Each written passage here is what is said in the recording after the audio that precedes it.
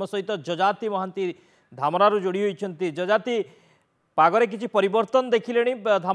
ଶକ୍ତି ପାଗରେ ପରିବର୍ତ୍ତନ ଆମେ ଦେଖୁଛୁ ଏଠି ପାଗ ଏବେ କୋହଲା ଅଛି ପବନ ଧୀରେ ଧୀରେ ଆରମ୍ଭ ହୋଇଛି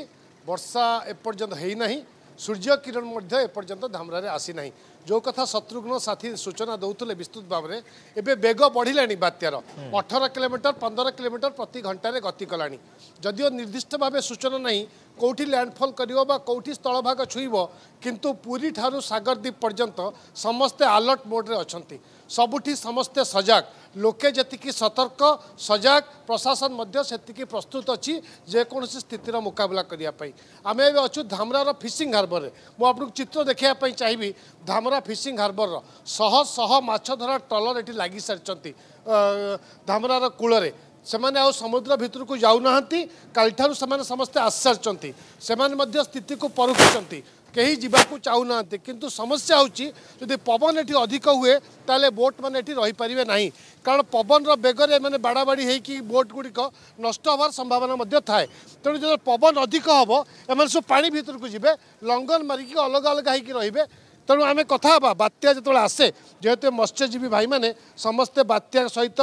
ଚିରପରିଚିତ ଏ ବାତ୍ୟା ଆସିଲେ କେମିତି ପ୍ରସ୍ତୁତ କରନ୍ତି ଆପଣ ଦେଖୁଥିବେ ଏବେ ସେମାନେ ଅବସର ସମୟ ଜାଲକୁ ସଜାଡ଼ୁଛନ୍ତି କେଉଁ ଜାଲ ଆଗକୁ ନିଆଯିବ କେଉଁ ଜାଲ ନିଆଯିବ ନାହିଁ କାମ ବନ୍ଦ ହେବେ ତେଣୁ ଏଠି କେବଳ ଖାଇବା ପିଇବା ଏବଂ ମରାମତି କାମ ଚାଲିବ ଆମେ ଟିକେ ଜାଣିବା ପାଇଁ ଚାହିଁବା ବାତ୍ୟା ଆସିଲେ କେତେ ସତର୍କ ହୁଅନ୍ତି ଆପଣମାନେ ଆମେ ବହୁତ ସତର୍କ ହୁଅନ୍ତି ନଈରେ ରହୁନୁ ପଳେଇ ଆସୁ ଆମେ ପବନ ପବନ ପବନ ଫବନ ହେବ ସେଥିପାଇଁ ପଳେଇ ଆସୁ ଆମେ କେବେଠୁ ଆସିଲେଣି ଦୁଇ ଦିନ ହେଲା ଆସିଲୁ ଏ ଯେଉଁ ଆପଣ ବାତ୍ୟାର ଖବର କିଛି ପାଉଛନ୍ତି କେବେ ହେବ କ'ଣ ହେବ କିଛି ନ୍ୟୁଜ୍ ଖବର କେଉଁଠି ଦେଖୁଛନ୍ତି ହଁ କେଉଁଠି ଦେଖୁଛନ୍ତି କ'ଣ ଏ ମୋବାଇଲରେ ଦେଖୁଛି ନ୍ୟୁଜ୍ ଆଉ କ'ଣ ଆସୁଛି ନ୍ୟୁଜ୍ ଆପଣଙ୍କ ପାଖକୁ ବାତ୍ୟା ହେବ ଭୟଙ୍କର ହେବ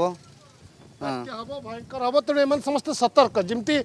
ଆମେ ଆପଣ ସୂଚନା ବି ଦେଉଥିଲେ ଗଭୀର ଅପପାତ ଏବେ ବାତ୍ୟାର ରୂପ ନେଇସାରିଲାଣି ଆସନ୍ତାକାଲି ଏ ଭୟଙ୍କର ବାତ୍ୟାର ନେବ ସିଭିଅର ସାଇକ୍ଲୋନିକ୍ ଷ୍ଟର୍ମ ହେବ କିନ୍ତୁ ସ୍ଥଳଭାଗ କେଉଁଠି ଛୁଇଁବ ତା ଉପରେ ସବୁକିଛି ଡିପେଣ୍ଡ କରେ କିନ୍ତୁ ସ୍ଥଳଭାଗ ଯେଉଁଠି ବି ଛୁଉଁନା କାହିଁକି ତାର ପ୍ରଭାବରେ ଏ ଉପକୂଳବର୍ତ୍ତୀ ଅଞ୍ଚଳ ଆପଣ କେନ୍ଦ୍ରାପଡ଼ା କଥା କୁହନ୍ତୁ ଜଗତସିଂହପୁର କଥା କୁହନ୍ତୁ ଭଦ୍ରକ କଥା କୁହନ୍ତୁ ଏସବୁ ଅଞ୍ଚଳରେ ମଧ୍ୟ ପବନ ନିଶ୍ଚିତ ଭାବରେ